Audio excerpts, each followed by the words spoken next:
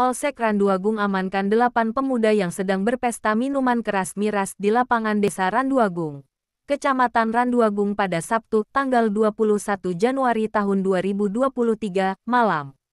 Pengamanan pemuda berawal anggota Polsek Randuagung setelah mendapatkan informasi dari masyarakat adanya sejumlah anak muda sedang pesta minuman keras. Mendapatkan laporan tersebut, dipimpin Kapolsek Randuagung Ibtu Darmanto langsung mendatangi lokasi dan berhasil mengamankan delapan pemuda sedang mengkonsumsi miras. Ketika saya datangi delapan-delapan pemuda sedang asik pesta miras di lapangan Randuagung, terang Kapolsek Randuagung Ibtu Darmanto.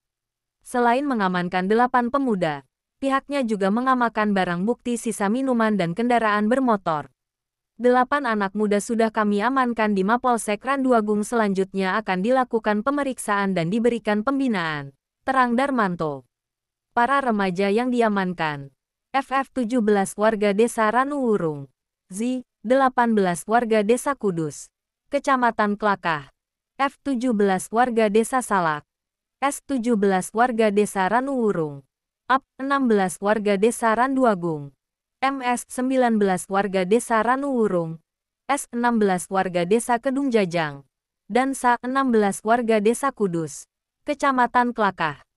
88 pemuda hanya kita berikan peringatan, pembinaan dan memanggil orang tuanya, pungkasnya. Selain itu, pihaknya meminta pelajar yang menggunakan knalpot bising, brong, di sepeda motornya untuk melepas dan diganti dengan knalpot standar agar tidak menimbulkan kebisingan di lingkungan dia juga akan terus melaksanakan kegiatan patroli rutin untuk menjaga kondusivitas wilayah Randuagung. Serta mengimbau masyarakat untuk tidak segan melaporkan setiap kejadian yang dapat menjadi gangguan keamanan dan ketertiban masyarakat Indana Zulfa reporter Lumajang1.com melaporkan.